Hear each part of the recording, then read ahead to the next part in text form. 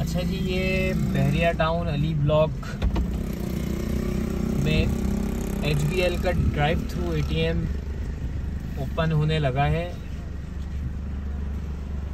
Drive through ATM और ये Ali block P S O pump के पास ये ड्राइव थ्रू एटीएम ओपन होने लगा है।